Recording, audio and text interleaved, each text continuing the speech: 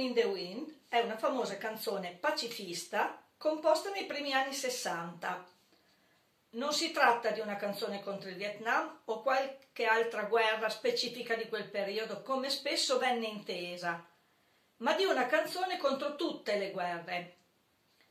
Ricordando i momenti della liberazione del 1945, si pensa alla guerra che aveva fatto tanta paura, ma che stava finendo con le sue brutture.